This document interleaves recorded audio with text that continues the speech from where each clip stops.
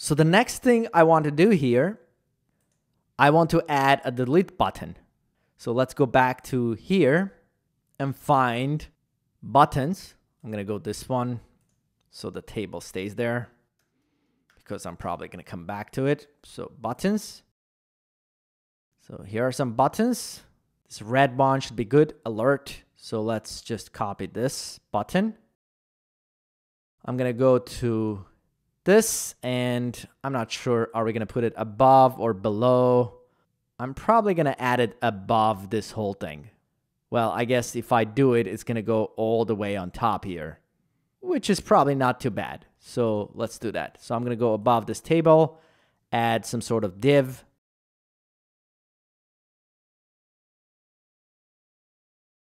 And paste the button in here.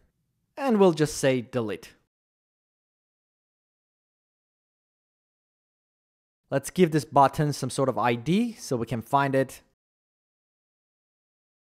You want to be paying attention to this uh, cases when you work with HTML and JavaScript. This is case sensitive. So if I do B uppercase, then later on I have to make sure I refer to it with that uppercase B and everything else the same way. So if I go back and reload this, we should have a button now on top. Right there. Good.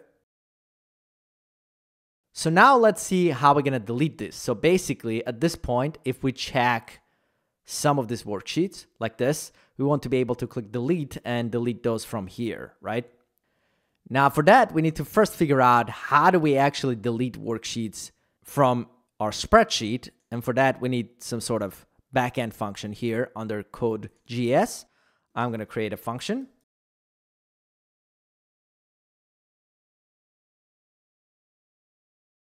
In this function, we're going to need a reference to our spreadsheet.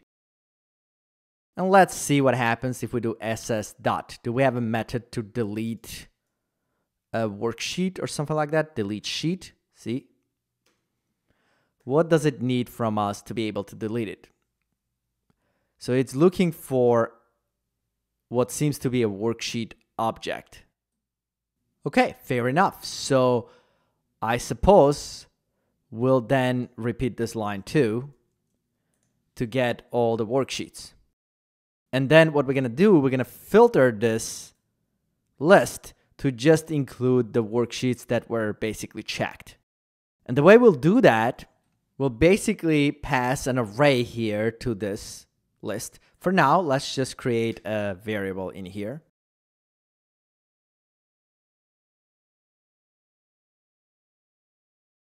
And assume that's going to be some sort of array. And that should have some of the worksheet names in here.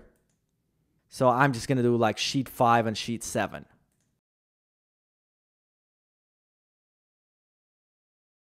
And using this list, I want to filter this list of worksheets.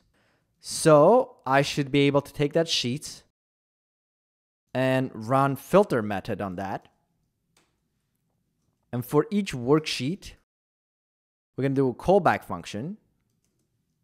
And basically, we need to make sure that that worksheet name is inside of this list right here. So I'm going to say sheets to delete includes that sheet dot get sheet name.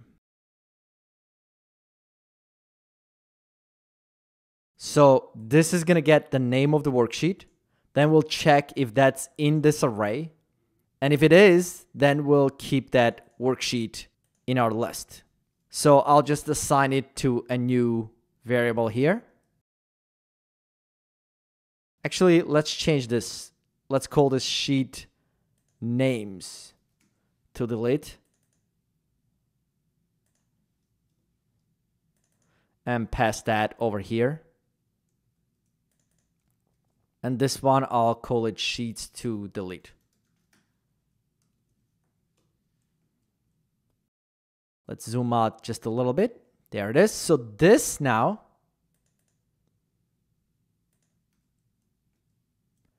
should be the worksheets that needs to be deleted, which should be this too. So now we can just take that and loop through it And for each worksheet, we'll do a callback. And here, if you remember, this needed the worksheet object, which would be this. So all I have to do, just move this over here and just pass that worksheet or sheet right in here. And hopefully doing this should delete those worksheets. So I'm gonna test this. So if I run this and this works, it should delete these two worksheets from here, sheet five and seven. Let's try this. Delete worksheets. I'm gonna run that. So it ran. Let's go check. See, five and seven are gone. So this works. So what I'm going to change here, instead of hard coding this array, I'm just going to pass that variable here as an argument and delete this line. I'll actually just comment it. So now we should be able to run this delete worksheets function, give it a name list, and use that to delete worksheets, just like that. So I'll go back to my HTML. Let's actually copy this. And here we need to create a function to basically run that and delete those worksheets. And we'll create that inside of this global we have right here. So this closing is closing this. So let's just comment this. And I'm going to do another function here and we'll call this delete sheets.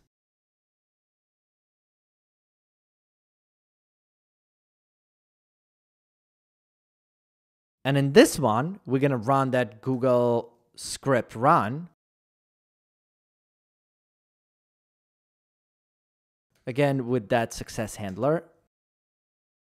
And this is going to be the function which should receive this worksheet names to delete, which we don't have yet, but we're going to get them in a second.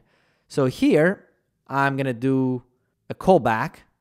So for now, there is nothing that it's returning. So we'll just do this. And this is after it's all deleted and everything went fine. So how are we going to get this worksheet names to delete? So for that, if I go back to this table component, let's go to methods. See, they have all of these methods on that table object. And see, there's this method get selected items. That should basically be whatever's checked in here. So what I'm going to do right now, I'm just going to comment this. I'm going to highlight this part and do command or control question mark. I'll uncomment it in a second. So what we should be able to do if we take that worksheets delete app and reference to that worksheets table that we've created inside of that, inside of that, we should have this get selected items method. So if I just do a variable here to see what this is,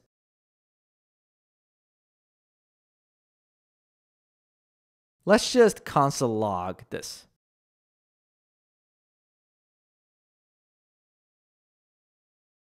Now this is going to be console log in our HTML, so we're going to have to use the browser to see the console log. It's not going to show up here.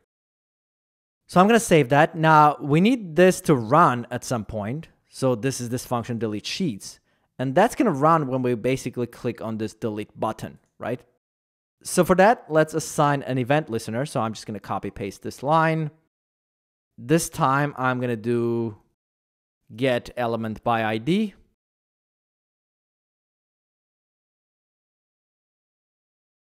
And the ID of our element, this will be the button and I've called it this delete button. So the event is going to be when we click on that button, we want to run the function and the function is this.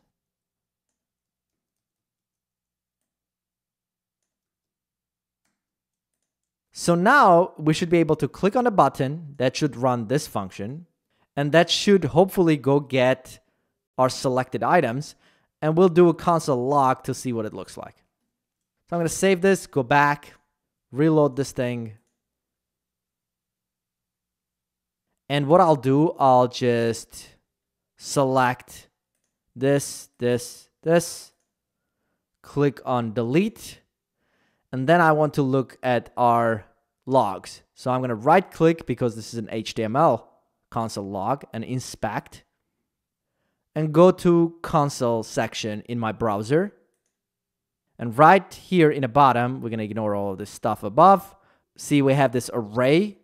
If I open it, see it's an array and it seems like it's an array of arrays. See, we have all of this worksheet names in the structure.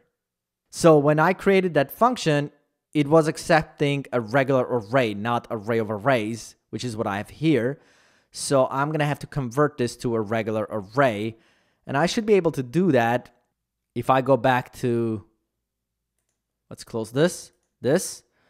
I'm going to take this selected items and I'm going to map through that list. And for each, let's call it sheet name. You know what? Since this is going to be an array, let's just do for each row or something like that. R. It's just a variable name. It doesn't really matter. We're going to get the first item in a row because it's just one column of data, just the worksheet names. So if I save this, let's go back and rerun the sidebar and see what it looks like. This time I'll do this, this, and this. Click delete. Go to our logs. See array of three items. And now it's not in array brackets. So this is a regular array now with three worksheet names. See this one, sheet four and sheet nine, which is what we have selected. And if I go here and select like this one and click delete, see we got this new console log and it includes that too.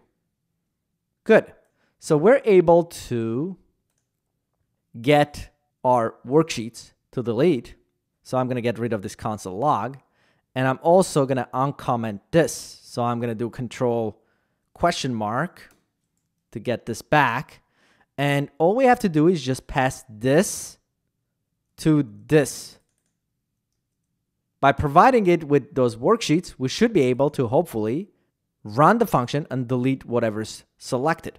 So why don't we just save this and see what happens and go from there. So I'm going to go to this and reload this thing. Now let's check, for example, 6 and 8. These two. And click delete and see what happens.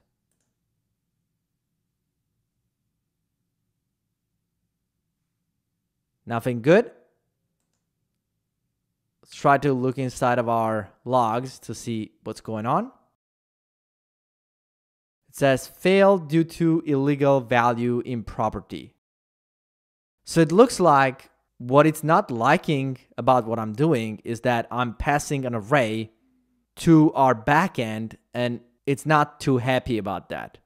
I assume that's what's going on. We're going to see in a second. So what we'll do, I'm going to go back to this and instead of trying to pass an array to our function, we'll try to convert that array to a string and then pass it to our function. So what I'll do here, I'll add another line and I'll do const and we'll do sheet names to delete as string. And what I'll do, I'll do json dot stringify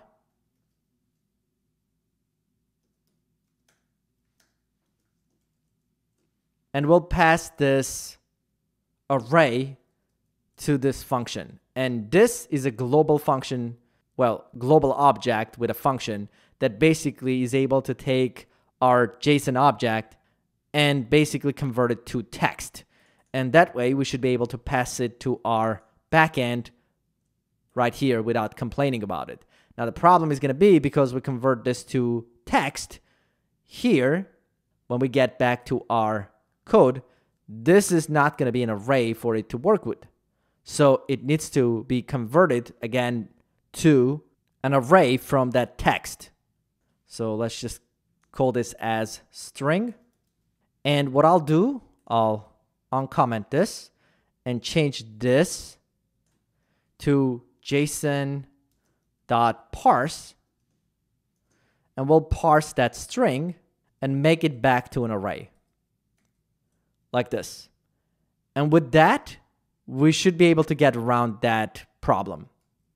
So let's take a look and see if I'm right about this. So I'm going to save, go back, reload the sidebar, check a couple of this, 6 and 8, and hit delete. Okay, they're gone. So that worked. So we're able now to delete the worksheets, but there is a problem here. See, these two names are still in here. So when this deletion is successful, we want to basically get rid of these worksheets from here. We could just go in and delete those lines from here, but what I'll do instead, I'll just reload this thing. And to reload it, we'll go back to our HTML. Now that's gonna happen after we run this, see here, and it's successful. So we're gonna be right in here in this line 54 if that went through and it was successful. And if it was, then I want to basically render all of those items all over again by basically doing this. So what I'm going to do, because it's just this part of the script, not the whole thing, I'm going to move this part to its own function so we can call it from both places. So I'll go right in here and inside of that global, we'll create another function. We'll call this load worksheet names or something. And that will be a function. Let's just comment this so we know what this is for. I'm going to actually do that for this one too. Otherwise, too many brackets. Okay, here, I basically need to do this. So I'm going to grab all of this code, cut it, and paste it right in here. And we should be able to run this function, get the worksheets, and set the items and reload. So that's fine. So at this point, I should be able to run this function right in here after we get the reference to the table. So I just moved it to a function. Now I should be able to now run that same function, copy that, right in here after we delete the worksheets to reload the items with new worksheet names. So let's save this, go back and test this out and see what happens. So I'm going to go back, rerun the sidebar. Let's just try this with the sheet 9. Hit delete. See, it's gone from here and it's gone from here too. It reloaded. Now I want the sheet 10 to go. That's good. So now we have this thing that allows us to check the boxes. So if I add more here, there's going to be a little problem here because it's not going to automatically load this as we have these. So we need to reload the sidebar to get those in here. See, there's page one, page two. So we should be able to now, for example, check, let's say 18, 16, and then 11 from here and if I delete, that should delete those three. Looks good. That's nice.